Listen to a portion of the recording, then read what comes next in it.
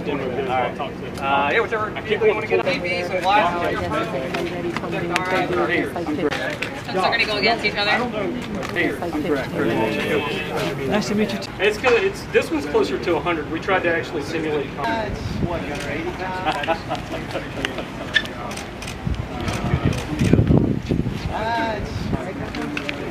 They're gonna go against each other? And then uh, one of the guys from Alpha Company, they did shoot us. The difference being Really unnatural to like.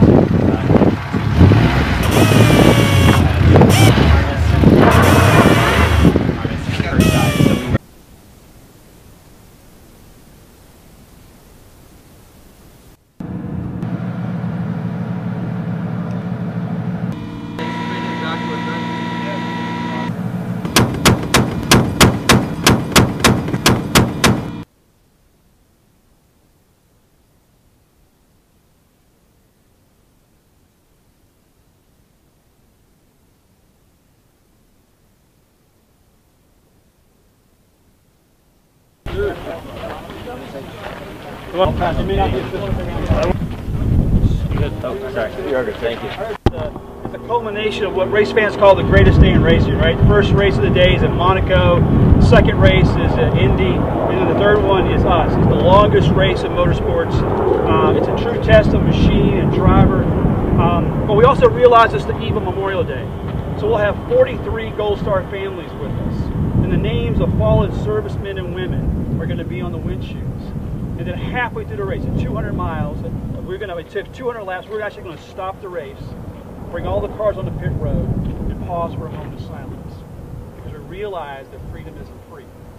And what we want to do with this this amazing sporting event with our athletes is to, to bring recognition and pause and remember, you know, why we have the freedoms that we do. We, as a son of a Marine, uh, my dad's a gun bunny. I was born at Camp Pendleton, so it's always exciting when I get a chance to come and hang out with the Marine Corps. My dad at 85 still thinks he can whip. Probably can't. Um, he's gotten pretty good with that cane. But uh, we, are, we are grateful. We are grateful for the time that your Marines showed us today. We actually have a Mission 600 flag. We would be honored if you guys could find a find a place for this somewhere. I just I want to follow off of what Greg said really quick. And I was talking to Colonel. This is really humbling for me, and it's a, it's a great opportunity. I, like I've, I've talked about it all day. I've, I've had the privilege to do a lot of really cool stuff, being a race car driver, stuff I never dreamed I would get to do. But coming to do these type of things, these type of events, and getting to interact with you guys, um, it's humbling because you know I, I know that you guys sign up to do this, and it creates a better life for yourself, it creates a better life for your families. You guys um, do this, you know, you, you create this environment of freedom because of what you guys do, and so not only are you doing it for, for what you guys are doing and making the sacrifice for our country, but it's my family. Like we, we benefit from what you guys do, and we are extremely grateful. We know you guys are protecting us, so thank you.